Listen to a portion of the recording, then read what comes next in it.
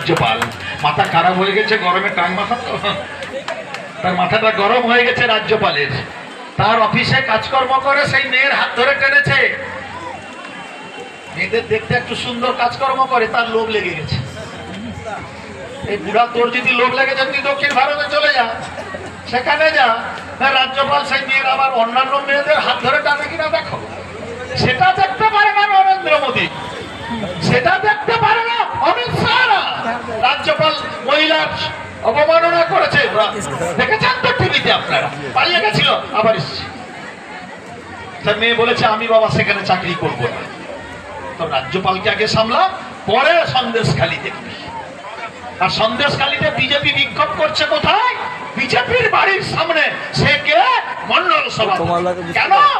তুমি কেন সত্যি কথাটা বললে? এখানে নারী নির্যাতন হয়নি। মন্ডল সভাপতি বলছে এখানে শিরতাহানি হয়নি।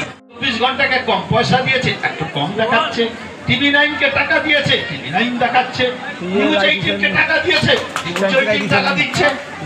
মিডিয়ারাও আমাদের বিরুদ্ধে অপপ্রচার এর জন্যই আপনাদের বলি, এই বাংলাকে যদি বাঁচাতে হয়, ভারতবর্ষের পঁয়ত্রিশটা পঁয়ত্রিশটা পঁয়ত্রিশটা পাওয়া।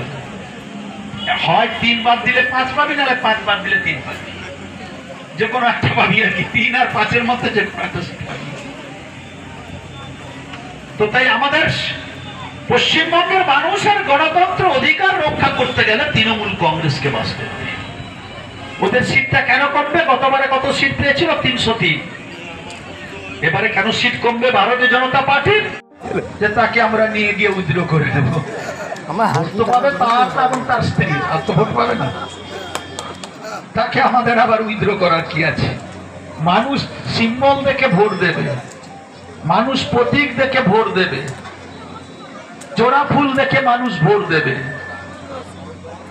তো কিছু কিছু মানুষ বিভ্রান্তি করবার জন্য এইভাবে করেই তারা অপপ্রচার করছেন। এটা বিজেপি একটা কৌশল করছে। বিজেপি যে কৌশল করছেন, একটা কথা আছে না উড়িয়া ভাষায়? মরিবু মরিবু কৌশল করি কি মরিবু? বিজেপি মরিবু কৌশল করি মরিবু? তো কৌশল যাতে করিব মরিবু তাতে।